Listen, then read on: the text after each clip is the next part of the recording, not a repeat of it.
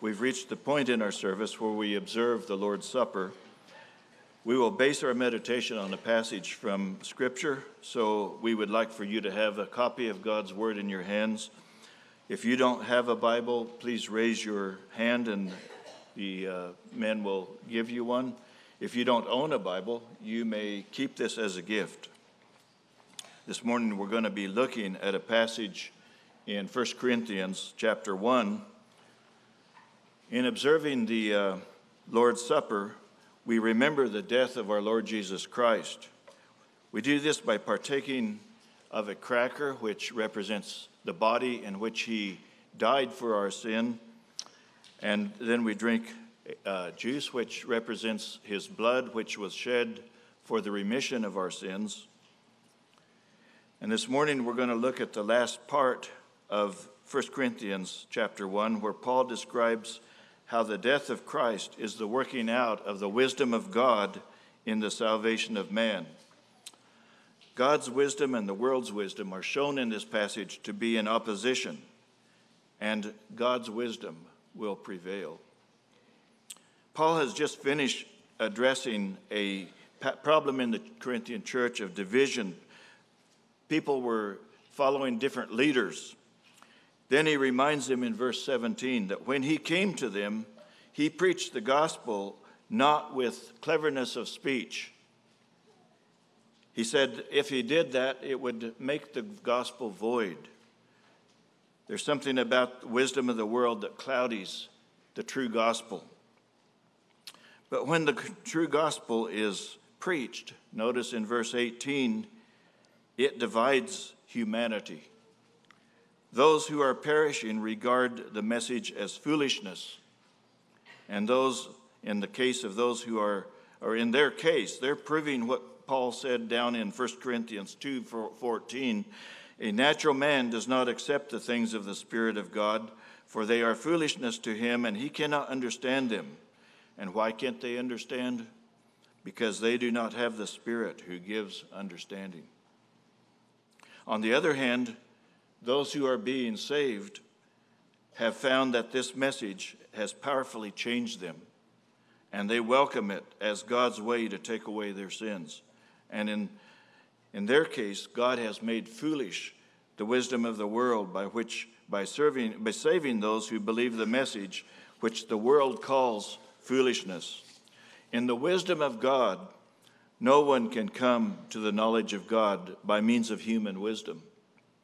But it pleased God to save those who believe the message of the cross. Jesus said in a, a similar thing after his disciples returned from a mission to the nation of Israel. They were all rejoicing because the evil spirits were subject to them. And Jesus said, Don't rejoice in this. Rather, rejoice that your names are recorded in heaven. Then Jesus began rejoicing greatly in the Holy Spirit, and he broke out in a thankful praise to his Father. I praise you, O Father, Lord of heaven and earth, that you have hidden these things from the wise and intelligent and have revealed them to infants. Yes, the fa- yes, Father, for this was well pleasing in your sight. The triumph of God's wisdom over human wisdom is further illustrated in the case of unbelieving Jews and unbelieving Gentiles. Jews seek for a sign, Greeks look for wisdom. But the message of Christ crucified is a stumbling block to the Jews and it's foolishness to the Greeks. Notice in verse 24, though, that both Jews and Gentiles who are called by God that this same gospel is the power of God and the wisdom of God. In the wisdom of God, He gives believers what unbelievers can never attain, no matter what they're seeking. Next, Paul calls attention to the type of people that God calls to salvation in verse 26. He asked the Corinthians to consider that not many of them were wise according to the uh, fleshly standards not many were mighty, not many were noble, but God has chosen those regarded as nothing by the world in order to shame those who are thought highly of in the world. In the final analysis, God's wisdom will prevail. All worldly wisdom will be nullified. God has brought to an end all human boasting. And they bring and that brings us to the verse that we want to zero in on this morning, verse 30. Listen as I read it.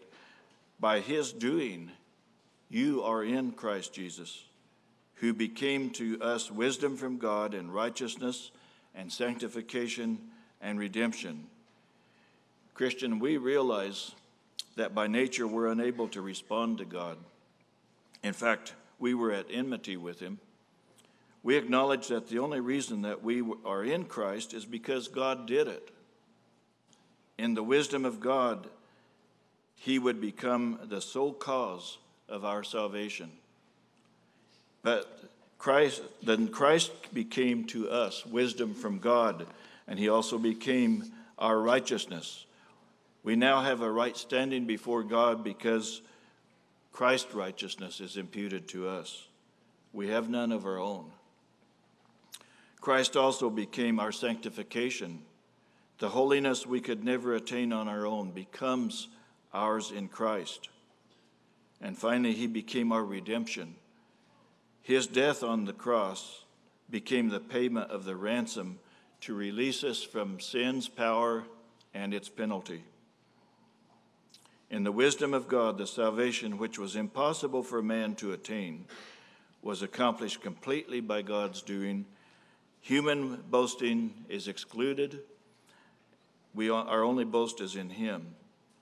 Christian, as you partake of the Lord's Supper, realize that the death of Christ is God's wise plan to make us, and it makes us completely indebted to Him. Worship Him for what He has done and also for who he is to you. You may partake when your heart is prepared. If you're here this morning and you realize that you've not come to the place of trusting Christ alone for your salvation, you may be relying on your own ingenuity or resources to make it to heaven. We ask that you refrain from partaking of the Lord's Supper because this ordinance is for believers that are fully trusting Christ. We're glad that you're here, though, and we urge you to consider that Christ's death on the cross is God's only remedy for lostness in sin. A sinner who sees his need of salvation and receives this gift from God passes from death into life. If you would like further help in understanding God's plan of salvation, visit with one of the elders or someone here at the church afterwards. Jesus has promised to those who come to him, I will in no wise cast them out. The men will now come to serve our, the elements.